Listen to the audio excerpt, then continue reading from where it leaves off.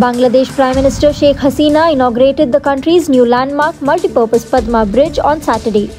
This is the longest bridge in Bangladesh that will significantly reduce the distance between the capital city of Dhaka to the Mongla seaport, which is important for regional and international trade.